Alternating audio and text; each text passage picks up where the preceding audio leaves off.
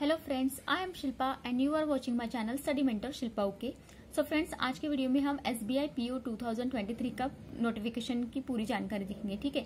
सो देखिए, सबसे पहले है कंडक्टिंग बॉडी तो वो है एस बी आई वैकेंसी है उसमें टू थाउज़ेंड ऑनलाइन रजिस्ट्रेशन जो स्टार्ट होगा, वो होगा सेवेंथ ऑफ़ सितंबर 2023 से लेकर 27 सितंबर 2023 तक आप फॉर्म फिल कर सकते हैं, ठीक है?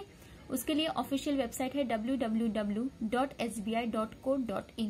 नेक्स्ट है प्री एग्ज़ाम ट्रेनिंग जो कि एस सी कैंडिडेट के लिए होता है टू बी नोटिफाइड मतलब इसका डेट अभी तक उन्होंने मेंशन नहीं किया वो जब भी आएगा तो वो उनको वेबसाइट पर वो अपलोड कर देंगे, ठीक है? नेक्स्ट एग्ज़ाम डेट प्री का होगा, वो होगा नवंबर 2023 में, और मेंस का एग्ज़ाम जो जो होगा वो दिसंबर के एंड में या फिर जनवरी के फ़र्स्ट वीक में 2024 के वो कंडक्ट कराया जाएगा। Next interview and group exercise वो होगा जनवरी फेब्रुवरी 2024 में, ठीक है? मतलब जनवरी में के एंड में भी हो सकता है या फिर फेब्रुवरी के फ़र्स्ट वीक में 2024 में ओके नेक्स्ट फाइनल रिज़ल्ट जो आपका आएगा वो है फेब या मार्च 2024 में आ जाएगा, ठीक है?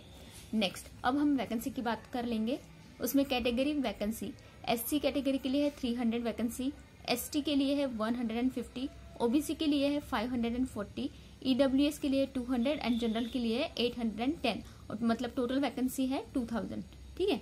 नेक्स्ट अब क्वालिफिकेशन के बारे में जानेंगे हम। क्वालिफिकेशन जो है आपको age on thirty one December two thousand twenty three इस डेट के हिसाब से आपको वो ग्रेजुएशन मतलब चाहिए। अब देखते हैं उसके बारे में पूरी जानकारी। देखिए ग्रेजुएशन इन एनी डिसिप्लिन मतलब आप आर्ट्स कॉमर्स साइंस मेडिकल कोई भी स्टूडेंट हो, ये फॉर्म आप फिल कर सकते हैं, ठीक है?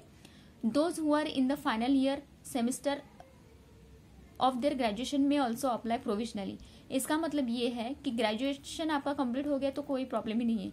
लेकिन कुछ ऐसे स्टूडेंट्स भी होंगे जो अभी फाइनल ईयर में फाइनल ईयर में है या फिर उनका लास्ट सेमेस्टर का एग्ज़ाम होने का है तो भी आप फॉर्म फिल कर सकते हैं। ले, लेकिन उसके लिए कंडीशन दी है कि proof of having pass graduation exam on और बिफोर 31 दिसंबर 2023 इसका मतलब ये है कि अगर आपका फाइनल ईयर का रिज़ल्ट अभी तक पेंडिंग पड़ा है या फिर आप सेमिस्टर किसी लास्ट ईयर सेमिस्टर में हो तो आपका जो रिज़ल्ट है वो 31 दिसंबर के दिन या फिर उसके पहले भी आ गया तो आप ये फॉर्म फिल कर सकते हैं, ठीक है? उसके लिए कोई भी मतलब रिस्ट्रिक्शन नहीं है कि आप, अगर 31 दिसंबर से पहले आपका रिज़ल्ट आता है तो आप फॉर्म फिल कर सकते हैं, ठीक है? अब देखिए कैलकुलेशन ऑफ़ परसेंटेज इसका मतलब ये है कि इसमें कोई भी परसेंटेज का क्राइटेरिया तो दिया नहीं है कि आप 40 परसेंट है 50 परसेंट है 60 परसेंट है, आपको रजिस्ट्रेशन में आप फॉर्म फिल कर सकते हैं। ठीक है? लेकिन यहाँ पे एक बात ध्यान में रखना है कि 59.99 percent treated as less than 60 percent इसका मतलब ये है कि 59.99 परसेंट जो है, उसको लेस देन 60 मतलब 60 से कम के ही परसेंटेज है ऐसा ट्रीट किया जाएगा। और 54.99 ये भी लेस देन 55 परसेंटेज ऐसा ट्रीट किया जाएगा। ठीक है? नेक्स्ट बात कर लेते हैं एज की। तो एज देखिए 21 वन ईयर्स से लेकर 30 ईयर्स तक आप फॉर्म फिल कर सकते हैं एज ऑन 1 अप्रैल 2023 मतलब ये जो डेट दी है, इसके हिसाब से आप अपनी एज काउंट कर लीजिए, ठीक है? अगर आप 21 और 30 ईयर्स के बीच में है तो आप फॉर्म फिल कर सकते हैं, ठीक है? एज रिलैक्सेशन है एस सी के लिए five years other backward student non criminal के लिए three years PWD S C students के लिए फिफ्टीन ईयर्स पीडब्ल्यूडी, ओबीसी के लिए थर्टीन ईयर्स एक्स सर्विसमैन के लिए फाइव ईयर्स ठीक है? अब देखिए नंबर ऑफ़ अटेम्प्ट मतलब कितने चांसेस आपको मिलेंगे एस बी को एग्ज़ाम देने के लिए? तो जनरल ईडब्ल्यूएस के लिए four chances general EWS PWD students मतलब पर्सन विद डिसबिलिटीज के लिए seven OBC OBC PWD students उनके लिए सेवन और SC normal student SC PWD मतलब person with disabilities SC sorry ST और एस एसटी पीडब्ल्यूडी के लिए नो रिस्ट्रिक्शन ठीक है? इसका मतलब ये है कि आप इतने चांसेस आपको मिलेंगे पूरी लाइफ में, ठीक है?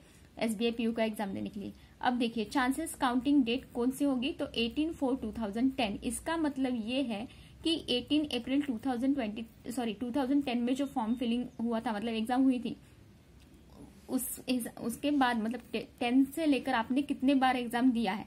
अब देखिए प्री एग्ज़ाम अगर आपने दिया था एस बी आई का पहले भी अगर आप उसमें फेल हो गए तो वो चांस काउंट नहीं किया जाएगा ठीक है?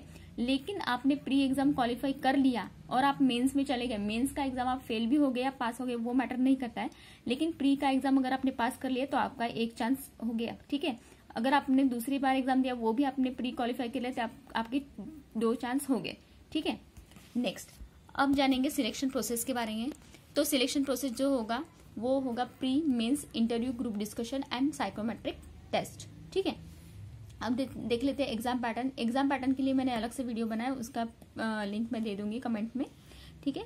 नेक्स्ट उसमें दिया no sectional cut off in pre and mains मतलब इसमें कोई भी सेक्शनल कट ऑफ़ नहीं रहेगा और वन फोर्थ नेगेटिव मार्किंग रहेगी ठीक है? फ़ेज़ थ्री में जो है ग्रुप एक्सरसाइज और इंटरव्यू ये मार्क्स ज़्यादा मैटर करेंगे। इसमें twenty marks thirty marks total fifty marks का ही टेस्ट होगा। और साइकोमेट्रिक्स टेस्ट जो है, वो आपकी पर्सनालिटी कैसे है, वो जानने के लिए वो कंडक्ट कराया जाता है। ठीक है? नेक्स्ट अब सैलरी देख लेते हैं। बेसिक पे होगा forty one thousand nine hundred and sixty in hand salary आपको अराउंड सिक्सटी वन थाउज़ेंड मिल जाएगी। ठीक है? फाइनल सिलेक्शन जो होगा, वो मेंस मतलब मैक्सिमम मार्क्स होंगे मेंस पे।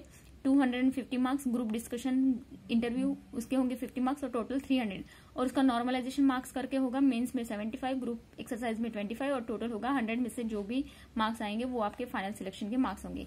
और फ़ीस है जनरल के लिए 750 और एस सी के लिए नो फ़ीस ठीक है? सो फ्रेंड्स आपको अगर ऐसे वैल्यूएबल वीडियो चाहिए तो please subscribe to my channel and like the video thank you so much